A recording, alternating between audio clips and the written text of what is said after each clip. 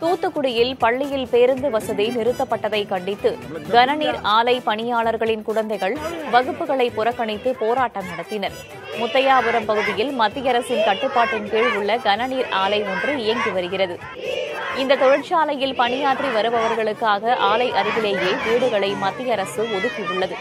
இவர்களின் குழந்தைகள் மத்திய அரசின் கீழ் இயங்கும் அட்டாமிக் எனர்ஜி என்ற பள்ளியில் பயின்று வருகின்றனர்.